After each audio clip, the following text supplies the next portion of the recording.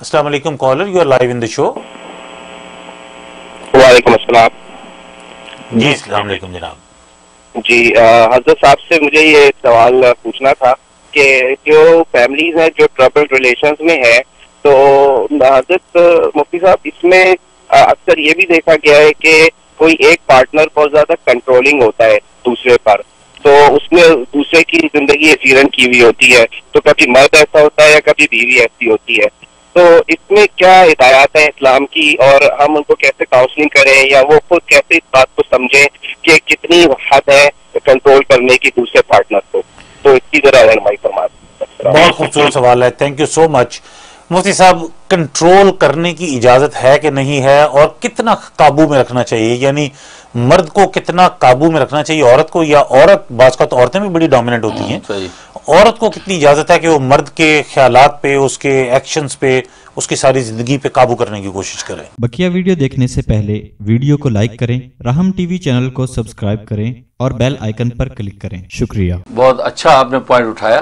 اصل میں بات یہ کہ یہ بالکل آپ نے بالکل فطری بات کی ہے کہ بعض دفعہ مرد کنٹرولنگ ہوتا ہے بعض دفعہ عورت کنٹرولنگ ہوتی ہے۔ تو کنٹرولنگ ہونا کوئی ایپ کی بات نہیں ہے۔ کنٹرولنگ ایپ کی بات نہیں ہے، بالکل کنٹرولنگ ہو سکتا ہے۔ اب اس کا بہترین طریقہ یہ ہے کہ جیسے کہ کہا جاتا ہے، اور ہم بزرگوں نے یہ بڑے تجربے سے بات کی ہے کہ جب اگر میاں بیوی میں اگر شور غصے ہو رہا ہے، وہ اگر غصے سے ایک بات کر رہا ہے اور جھگڑا کر رہا ہے، تو بیوی کو چاہیے وہ خاموش ہو کر سنے۔ بیوی اگر جو غصے میں ہے، تپی ہوئی ہے، اور وہ جو تو تو میں کر رہی ہے، شور کو چاہیے وہ چپ ہو جائے، خاموش۔ کیونکہ کنٹرولنگ جو بندہ اپنی کنٹرولنگ کیفیت کو اگر وہ اڈاپٹ کرنا چاہتا ہے تو اس کو تسکین تب ملے گی جب سامنے کی چیز کنٹرول میں آ جائے۔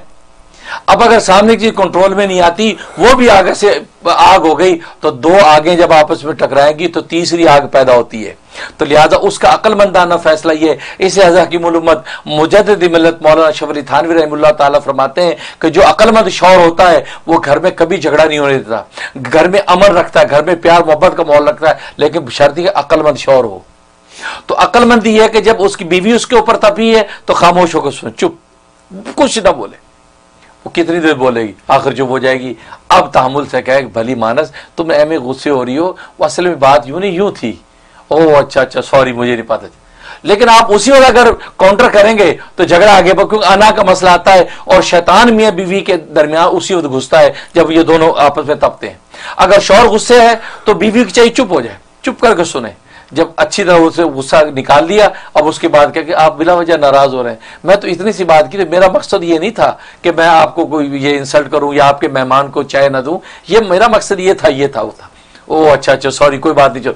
یہ یہ ایک ایسا تجربہ بزرگوں کا ہے کہ جن فیملیوں نے اس کو اختیار کہی کیا ہے، وہ آج بھی سکون و امن کے ساتھ رہتے ہیں اور کبھی کسی کو کوئی شکایت پیدا نہیں ہوئی۔ تو اس لیے ایسی صورتحال پیش آ جائے تو بالکل یہ کریں۔ اور دوسری بات کہ جیسے ملک ندیم صاحب نے کہا کہ کتنا کنٹرول کریں، تو وہ تو نبی پاک صلی اللہ علیہ وسلم فرمایا کہ بیوی اپنی اداؤں سے اور اپنی کشی سے اتنا کنٹرول کرے شور کو کہ شور جب گھر سے نکلے تو اس کو مسکراتا دیکھ کے جائے، اس کی ادائیں اس کے دماغ میں گھومتی ہوں۔ سارے دن اس کے خیال میں وقت گزرے، واپس آئے تو بے قرار ہو کے بیوی کو دیکھے اور بیوی اس کو ایسے انداز سے ایسی ادا سے دیکھے کہ اس کو خوش کر دے فرمایا اتنا کنٹرول کرے۔ اور آج بیویوں کا حال یہ ہے کہ جب شور آفس جا رہا ہوتا ہے تو بیوی بستر میں سو رہی ہوتی ہے۔ دیکھیں، مجھے بہت نیند ہے آپ اللہ حافظ، آپ جائیے۔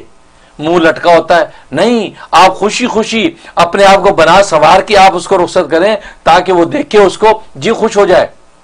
اور پھر جب واپس آئے، تو واپس آئے تو استقبال کریں۔ اس حال حلیے میں آپ کھڑی ہوں کہ وہ دیکھتے اس کا جی خوش ہو جائے۔ جبکہ امریکہ، یورپ میں تو باہر جا کے کیا کیا دیکھتا ہے ایک سے ایک جو ہے وہ چہرے مورے دیکھ کے آتا ہے اور گھر میں آیا اور اسے سر باندھا ہوا ہے۔ سر باندھا ہوا ہے، منہ لٹکا ہوا ہے۔ کیا ہوا؟ پینڈال کھا کے سو رہی ہوں۔ نہیں، آپ ذرا اپنے جبر کر کے اس کے لیے استقبال کے لیے کھڑے ہوں۔ اس لیے یہ چیزیں، اور پھر اپنی اپنے آپ کو بنا سوار کر کے بلکہ حدیث میں یہ چھوٹی سی یاد آ گئی کہ نبی پاک صلی اللہ علیہ وسلم کنز المال کی حدیث ہے کہ اپنے لیے ایک عورت کے بارے میں معلومات کرانی تھی۔ تو جو وہ صحابیہ سے کہا کہ جاؤ، جا کے اس عورت کو دیکھ کے آؤ۔ اور سننے کی بات ہے کہ اس میں نبی نے کیا کہا؟ کہا کہ ایک یہ پتہ کرو کہ اس کے منہ کی بو کیسی ہے۔ اس سے قریب ہو کے ذرا اس انداز سے بات کرنا، اس کے منہ کا پتہ چلے، منہ سے بھو تو نہیں آ رہی۔ اور دوسرا دیکھو کیا بات کی اس کی ایڈیاں دیکھنا، اس کی ایڈیوں پہ محل تو نہیں جمع ہوا۔ کہا کہ اگر منہ میں بو ہے اور میڈیوں میں محل جمع ہوا ہے، تو پھر مجھے اپنے رشتے کے لیے قبول نہیں ہے۔ اب آپ اندازہ کریں تو نبی نے کون سی کیسی دو باتیں کی کہ منہ کی بو اس کا مطلب یہ کہ اگر منہ میں بو نہیں ہے تو معلوم ہے کہ یہ لڑکی جو ہے یہ صاف ستھری پاکیزہ مسواک برش کرنے والی لڑکی صاف ستھری۔ اور ایڈیوں کا محل اس لیے فرمایا کہ آدمی پورے بدن کو نہا دھو کے صاف کر لیتا ہے، لیکن ایڈیوں کا محل صاف نہیں کرتا۔ کتنی کتنی حسینیں آپ کو ملیں گی، ایڈیاں ان کی گندی ملیں گی۔ تو نبی نے ایک ایسی چیز بتا دی کہ جو ایڈیاں بھی صاف کرتی ہوگی، اس کا مطلب باقی بدن صاف نہیں کرے گی یقیناً کرے گی۔ پر میں ایسا رشتہ دیکھ کے آنا، نبی کی پاکیزگی کا اندازہ کریں۔ تو میں بیویوں سے کہتا ہوں، آپ اپنی بیڈیاں صاف کرتی ہیں کہ نہیں کرتی؟ اس کا مطلب کہ صاف نہیں کرتی، تو نبی کے کہنے کے مطابق آپ شور کے معیار پہ پورا نہیں اتر رہی ہیں۔ آپ جتنا میک اپ کر کے سج کے سامنے آ گئی ہیں، ایڈیاں آپ کی گندی ہیں، تو نبی نے ایڈیوں سے آپ کا معیار حسن لگایا ہے۔ تو جب آپ اس انداز سے رہیں گی، آپ کے منہ سے خوشبو، آپ کے بدن سے حسن رانائی ٹپکے گی، تو شور تو آپ کے جال میں گرفتار رہے گا اور نبی یہی چاہتا ہے کہ بیوی ایسا گرفتار رکھے تاکہ شیطان اس کو شکار نہ کرے۔ سبحان اللہ، دیکھیں کتنی خوبصورت باتیں ہیں جو مفتی صاحب ہمارے ساتھ شیئر کر رہے ہیں اور یہ بلکہ انہوں نے سنت رسول سے یہ چیز ہمیں بتایا ہے کہ آپ جب رشتہ دیکھنے جائیں تو صرف ظاہری حسن کو نہ دیکھیں اگر دیکھنا ہے تو اس کی ایڑیاں بھی دیکھیں۔ اس میں کوئی برائی نہیں کوئی مذائقہ نہیں کہ آپ اس کی ایڑیاں دیکھیں اور پتہ لگے گا کہ وہ کتنی نفاست پسند ہے۔